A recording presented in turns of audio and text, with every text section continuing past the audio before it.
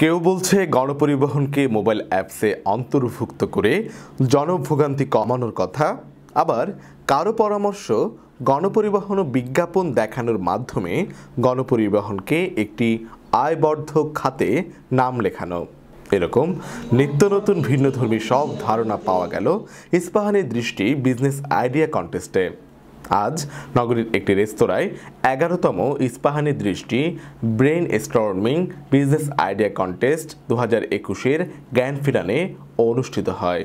প্রতিযোগিতায় বিশ্ববিদ্যালয় পড়ুয়া শিক্ষার্থীরা তাদের ব্যবসায়িক ধারণা উপস্থাপন করেন। Uh,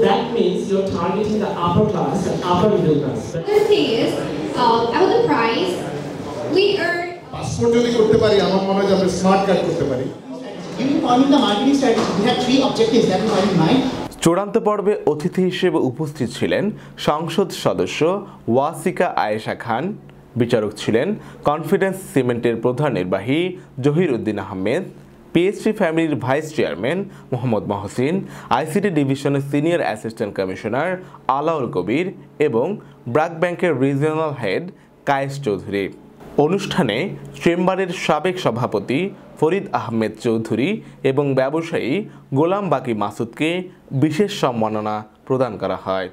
এবছর ফেব্রুয়ারির আঠারো তারিখ থেকে শুরু হয়ে সারা দেশের আঠারোটি বিশ্ববিদ্যালয়ের মোট একুশটি দলে ভাগ হয়ে তিন পর্বে বাছাইয়ের মাধ্যমে চট্টগ্রাম বিশ্ববিদ্যালয়, ইস্ট ডেল্টা বিশ্ববিদ্যালয়, বাংলাদেশ ইউনিভার্সিটি অফ প্রফেশনাল এই তিনটি দল ফাইনালে উত্তীর্ণ হয়।